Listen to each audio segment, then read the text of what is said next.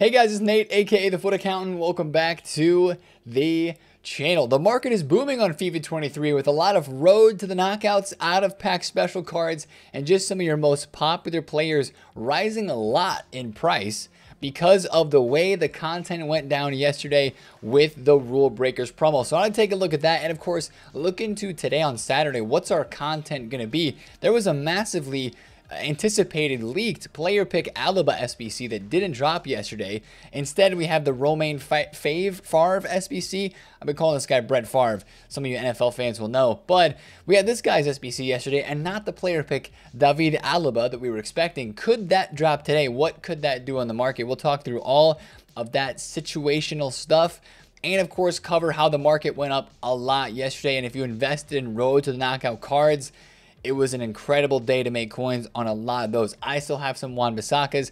I bought a Konate. A lot of people made coins on any of the Road to Knockout cards because uh, most out of all of them went straight up in price yesterday after we saw the content. So we're going to talk about all that and more in today's video and what to expect on a Saturday. I'm not buying any rule breaker cards heading into today. I feel like I missed the buy time, although there were probably a few buy prices earlier in the evening, and we'll talk about how those prices could react and the team of the week as well today in this video. So if you're excited for it, hit the thumbs up, subscribe if you're new. Let's start by taking a look at Futbin and looking at these rule breaker card prices because as I mentioned, I tweeted out just like a couple hours ago, I was like, man, this promo has to be some of the cheapest cards we've ever seen on the first day of FIFA. I mean, of course, we have an extinct Ronaldo at 2 million coins. I don't think Ronaldo is worth 2 million coins. His gold card is worth 500,000 coins, less than that, right?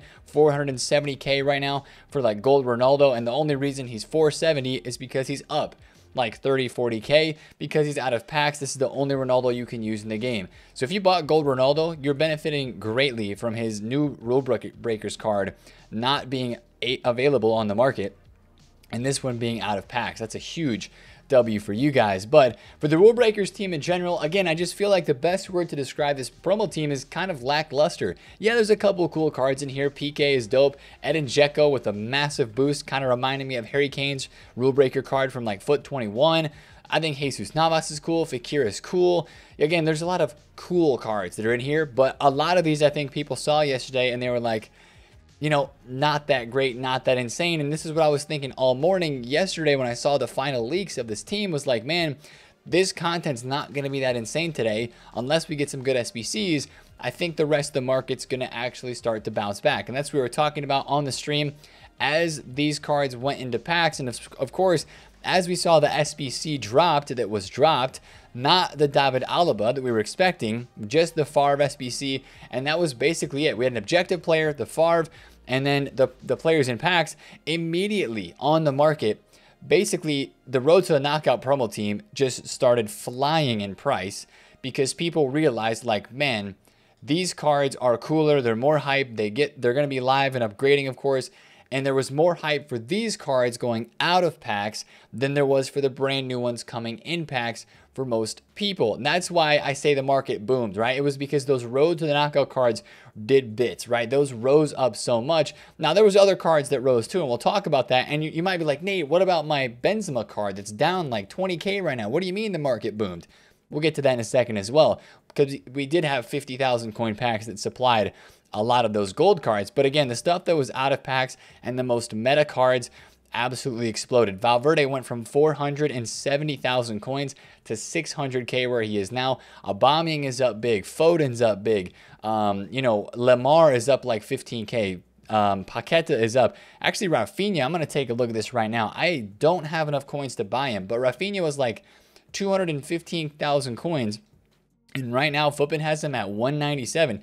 I would buy that. If I saw 197 pop up and I had the coins to get that, I would absolutely buy that because he was over 215,000 coins yesterday in the market's massive bounce back uh, that happened there. So that was a story yesterday, right? Lackluster content. This is a big thing that we can learn too because this happens and will happen multiple times throughout the year this year in FIFA where the promo team that comes out is just – not as hype. And maybe the promo team that we had the week before, people want to invest in as they go out of packs. You will see this. It happened multiple times last year. If the new promo team that comes in is not very exciting, not very hype, the last week's promo team will have a very nice rise out of packs, especially if they are live cards and that is exactly what happened yesterday on the game. So, other than that, though, you had some meta goals that did rise. You're talking about guys like, um, well, Ronaldo going out of packs. You had guys like Vinny Jr., who was actually his lowest like right during that content drop because there was a bit of panic selling. He went down to like 178 in the 170s,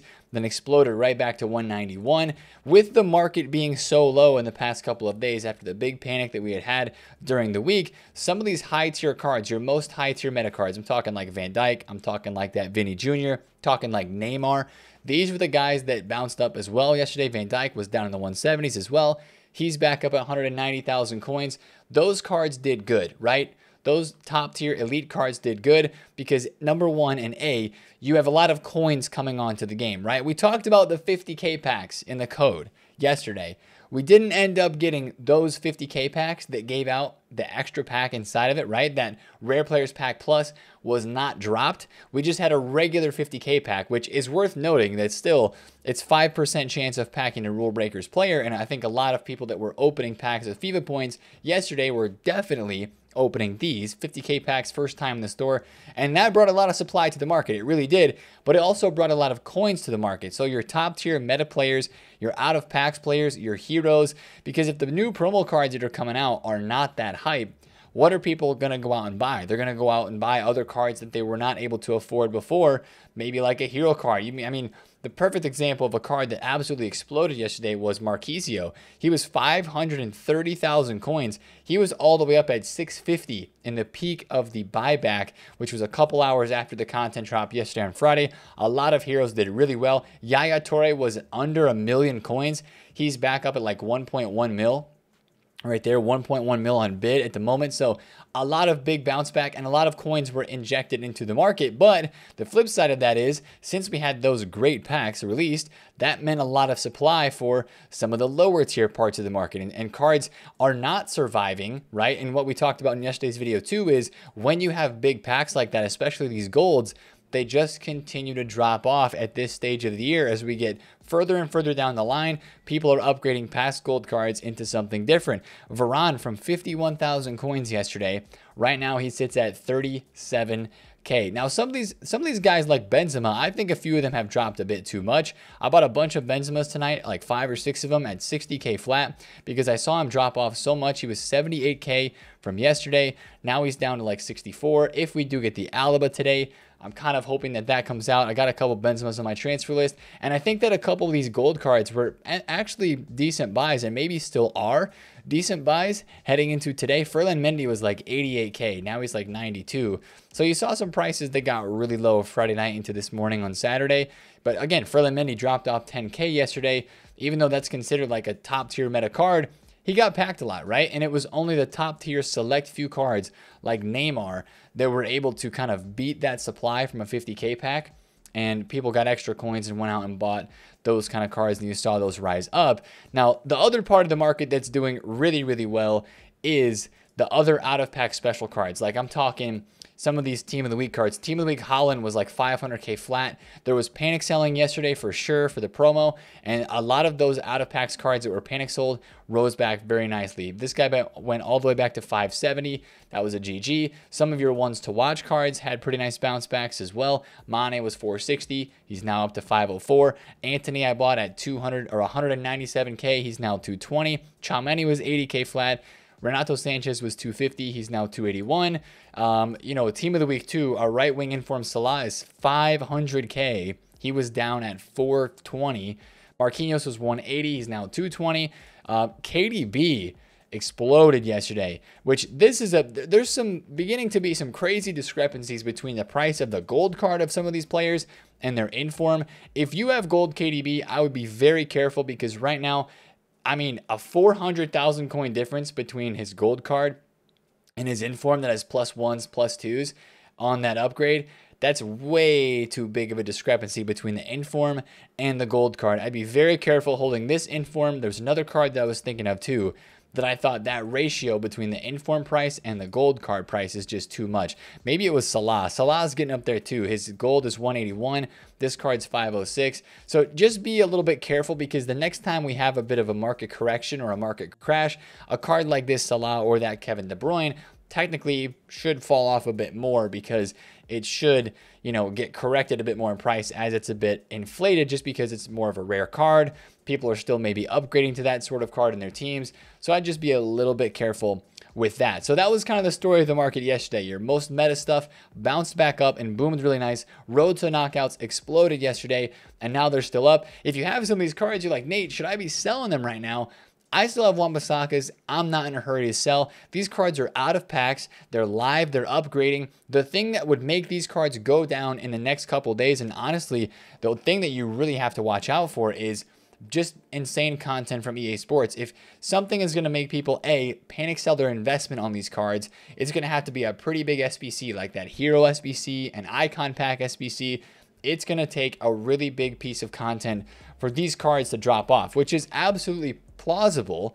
Like that's something that could happen in the next couple of days. EA could release a really big SBC. I just don't have. I don't think it's going to happen today on Saturday. I think today on Saturday is actually going to be a pretty decent day for the market. I picked up a couple informed Tomoris at 160 um, because he got kind of low again this evening. I think he might be able to rise up a bit into today on Saturday before um, he potentially gets packs some more from Team of the Week pack supply. It's a little bit of risky business trading with a few of the Team of the Week cards, uh, but I think today on a Saturday market, it, it's going to be pretty chill. I mean, realistically, the piece of content that we are expecting today is this David Alaba, right? 88 rated. We didn't see it yesterday. The leaks have been spot on, like literally through the entirety of this year so far. So if this does not drop today, I'd be shocked. Uh, I guess it could maybe be on Sunday. I don't know um, why EA would delay this. I mean, it, it doesn't make sense to me why EA released the Favre SBC yesterday and then like not this because this would have been a much better piece of content that would have aided in the hype of the Rule Breakers promo yesterday uh, instead of the Favre. So I'm just a little confused on that one. But maybe this will drop today. Um, it could kind of jumble up the center back market a bit. I'd be careful on a guy like a PK. I'd be careful with you know some of those defenders in there, especially like Gold Rudiger, Gold Militao, those types of guys. If this SBC is a very good price, which I'm not expecting it to be like an insane price. Um, it is a defender. I think people would be interested in doing this. I just think that it's all going to come down to how expensive it is. If it's more than 200,000 coins, that to me is too expensive for this Alaba card. So that I honestly think this might be our only piece of content today on Saturday, unless we have like a second objective player that could maybe drop. Um, you know, uh, some people were asking about like the uh, the mini release, right? Like we didn't see Ribery yesterday. We didn't see Chicharito. Would those guys be in a mini release or are they actually just a part of the team too? As as it seems right now through the leaks that it seems that Ribery or Chicharito would be a part of a team two of rule breakers and not a mini release. So I don't know if we are going to have new cards coming into packs tomorrow on Sunday and if we don't, that would also just make this feel this promo feel again another reason why it would feel a little bit dead, a little bit quiet and stuff like that. So that's kind of how I'm feeling about that stuff. Um, again, just rule breaker card prices today. Be careful with those. They will probably rise up a bit in the morning. Again, as I said, I didn't buy any of them. I feel like I missed the opportunity to buy them at their best point. Fekir was like 440k. I think now he's like 370 or sorry, he was like 330, 340 for a couple hours and now he's back up to 370, 380. I would sell these guys before content um, just because, you know, people get supply every day people log on open FIFA points every single day when they get new preview pack or they get new promo packs or preview packs. Uh, the 50k packs are out for the whole weekend, so if people open those, it's not like new 50ks are going to come today, but I believe the 25k packs are expiring today at 6 p.m. and they will be refreshed, um, of course, when EA put out some new promo packs today on a Saturday. So I would just be careful with those rule breakers because I would imagine that, especially with how the hype is for them and how the hype is for the promo in general, I think these guys would end up dropping off a bit more into the evening, Saturday night into Sunday. Um, of course, even though they could rise up a bit this morning from Saturday uh, into Saturday, into the, the time when a lot of people are playing their FUT Champions games. So that's kind of my opinion on the whole market scenario as a whole. The last thing that I'll say is, I mean, we talked about this yesterday in the video a lot. SBC fodder is looking tasty. It's looking primed and ready for picking. 84 is 1.4K. 85 is lowest they've been in a while. 86 is really cheap as well, especially as I'm looking at these late night prices. Like Donnarumma is out of packs. out of packs this guy is right now. His inform is dirt cheap at 34,000 coins. And this card is down a couple K because it's fodder, right? But, he, you know, eight, 88s or 19K, like on bid, you can probably snag these guys for 18K. That's incredible. 89s are in the low 20s. 87s are like 13K. Really, really good deals out there for fodder. Now, I don't think that fodder is going to go up crazy with a David Alaba SBC. And I want to make that clear. Like I've mentioned, if you're buying SBC fodder, just make sure you think it through how much you can buy with how many coins you have because I just don't feel like a lot of these cards are going to explode until we get an icon or a hero pack. And that's when these cards are really going to start to go up. So I still think it's a great time to buy these cards. Probably one of your last opportunities to buy some of these fodder items, club stock them uh, before they maybe start to trickle up. If we do get an Alaba SBC that's halfway decent, or of course, as the supply kind of dwindles off as well as the weekend ends, right? Usually you see most of your supply on the weekend and you see less of it uh, during the week. So that's something to kind of watch out for there. Now, coin making for me yesterday, I mean, icons, the rare cards. I flipped a Konate. Uh, I bought him at 150. I flipped a Correa for a cheap flip. Like, I made some decent coins yesterday. It wasn't the craziest day ever. This PK, I bought it like, I don't even remember, like 300 flat, I think. Sold it at 330. I bought this for 259. Bought this for 530 something. Um, and then I bought some Wan-Bissaka. So my coins right now are in some uh, some flips into today. Uh, I really feel like my trading motivation took a hit last week for sure. I mean, I remember if I think back to last weekend, I, last weekend was an insane Friday. We made a lot of coins. I feel like I was making like 100 to uh, 100 to 150k per day almost. And I was getting my coin total up there a lot. But with the coin lo losses that we had earlier this week, kind of put me in like a little bit in a downer mood, like to actually trade and to grind. So I'm not saying that today I'm going to grind a lot of market because it's a really busy day for me today on Saturday, but you know, I look forward to maybe tomorrow on Sunday getting onto the market a bit again. I feel like this market's going to be pretty healthy for the next couple of days. Uh, of course, barring any insane content from EA Sports. And that should mean really good potential to trade and to buy some cards. A couple of things from this team of the week, I would say, is we've seen these guys hit really low prices. I think if you see it Tomori below 100 and like if he, if Tomori's in the 150s, that's a really good price. And if you see Joao Cancelo anywhere below like 120, low 120s for him, he's up right now at about 130. Wow, 139. So he's up a couple thousand coins. I think that's a really really good price for him. I'm not as worried about this team of the week as I was team of the week 3. Um, unless we have some crazy supply that hits between now and Tuesday that'd be out of the ordinary. Like a like a UEFA marquee matchups is not going to drop this week because we don't have Champions League games. Um, so you know, Correa being 39k is pretty low. He could rise up a little bit today. He was already like 36. He's up a bit. Frimpong at 17 seems decent. Pedri is a Barcelona inform with 80 pace, right? He broke that 80 pace barrier with his inform. 21k for that's great. Martinelli at discard is great. Uh, Bruno Guimaraes at discard is fantastic. Donnarumma is a card that if you're a fodder investor and you have an, an extra 100k to put into fodder, buy a Donnarumma and put it in the club because a PSG goalkeeper, you know, when we get the next PSG special card here or there, that could be a card out of packs that does well. It's high rated. It's going to be more rare. He's also like one of the cheaper 89 rated fodder cards as an inform. So I think it's a good card to pick up at some point in the next day or two as informs are pretty cheap over the weekend. And uh, one thing I'll say too about the Rule Breakers promo is, and I'm actually, I'll actually do this right now um, on the video, is going through and picking up one of each of the cheapest guys on bid today or sometime during this weekend is a fantastic, fantastic idea. Now, Hector Herrera is not quite discard. These guys are basically discard like 11 250 right around the discard price at 11k if you can snag one of these like if, it, if it's 11,000 coins it really doesn't matter that much if you get them at straight up discard that's probably the best but last year the rule breakers um, was the first promo where they actually required a promo card in an SBC. Now we've seen the team of the week requirement now twice in SBCs, um, but rule breakers last year were required for a couple of them um, and even a couple SBCs after that as well.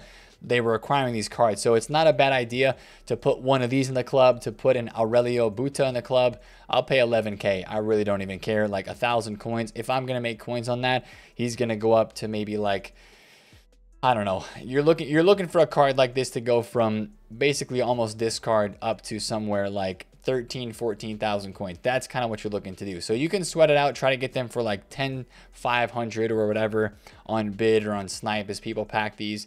Probably a little bit easier during the day since there's more listings and at nighttime there's a little bit less and still people have, there's still competition to, to buy these. But, you know, buy one if you have a couple hundred K, put it in the club of these three guys that are discards. So Frankowski is the last one that I have to get. Also, this guy, I think this guy's going to rise out of packs. I really do. This is a good card. This is a really solid card. I know we just had the Clauss card that was uh, a left wing back in the league on as well, but he gets a nice team link with being a, a Lens player uh, to that Fofana, Seko Fofana card that we had earlier. Um, and, you know, I, I, keep thinking about the Ligue 1 links that I have in my team. I kind of want this guy. Uh, I kind of want to try him out because he looks really, really solid, has a pretty good stats. I'll take 11K for Frankowski. Boom. I don't really care that I'm paying 500 coins more than what is truly discard. So I'm happy with that for those. So I think I would stock one of those in the club during the weekend because I think that's just smart. Hold those, wait for them to rise over time. It's kind of like a discard inform investment. And at the very least, those cards out of packs probably rise 2 to 3K anyway, just because they're going out of packs. And all of them are semi usable with the pace or the links uh, or just the links that they have like we talked about with Frankowski. So those are basically no risk investments. If you have an extra 100K, putting 33K into those guys is not going to break the bank whatsoever. So, like I said, today on Saturday should be a pretty chill day. I think you'll see a little bit of a market rise in the morning. That's why I picked up those Benzemas. That's why I picked up those Tomoris. Um, and of course, if you're trying to trade with any of the road to the knockout cards, you'll probably see them rise up a little bit more in price. Um, and if you want to take the safe route and sell as they go up and, and sell now because they have risen a decent amount, you absolutely can. But I still think there's a, little bit of money in some of these cards as they, especially the higher tier ones, continue to get rare. Like an Aubameyang was 440 for a long time yesterday. Now he's 480, just like continuing to rise up in price. And I think right now and this weekend, and I don't think we're going to get hero compensation, guys. This is the one week anniversary of the crazy Hero 25K pack. And there was a uh, tweet yesterday. I don't know if you guys saw this or not, but there was a tweet yesterday from an EA Help tweet that said the Hero Pack issue was fixed with no plans to offer any make good. Now, that was from Bob here, uh, an EA Help member. And this tweet got a lot of news and a lot of uh, hate, basically, because people were waiting for some sort of compensation on that. But honestly, guys, a week gone by with no tweet about hero compensation, it looks like we might be stuck in the mud. It really does. And I mean, this might become the new meme. Like we had EA Shay, we might have EA Bob be the new meme here. But like this tweet has like 108 quote tweets, you know. People are not happy to see that yesterday. Um, and now, again, it's EA Help. We know that EA Help have been wrong before, so we take that with a grain of salt. But, um, you know, I, as I was trying to say, I, I think that heroes are actually a pretty solid way to trade again. If we know and if we're hearing that that hero compensation is not going to be a thing, watch for fluctuations on these guys. Watch for opportunities to trade with them as they get panic sold. I like trading with heroes more than icons. So um, icons are still pretty good to trade with, right? They fluctuate a ton and they are pretty rare cards if you find the right guy. But uh, watch trading with heroes today, trading with out of pack special cards that have fluctuations. Of course, depending on the SBC content that we get, there could be some cards moving. So that's kind of a big time market video for today. If you did enjoy it, smash the thumbs up on it, comment down below if you have any questions, and subscribe if you're new. Have a great Saturday. Best of luck in your weekend leagues, and best of luck in whatever else you're doing this weekend. It's been Nate Fut Account, and I'll catch you guys later. Peace out.